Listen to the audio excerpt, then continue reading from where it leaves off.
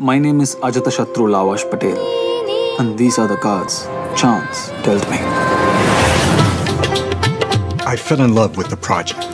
It's a story of a young Indian who comes from a very, very small area of Mumbai. He knows nothing else but his neighborhood.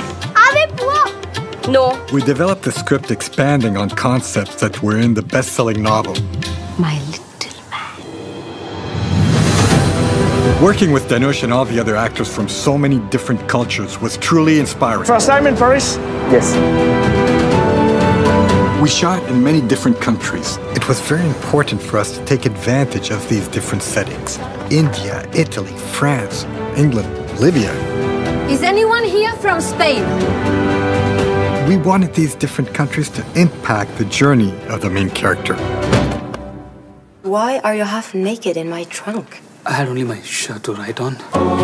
Very simply, what I tried to do is get the best out of each actor to obtain the right balance of drama and comedy. And we say, hey. Make a wish.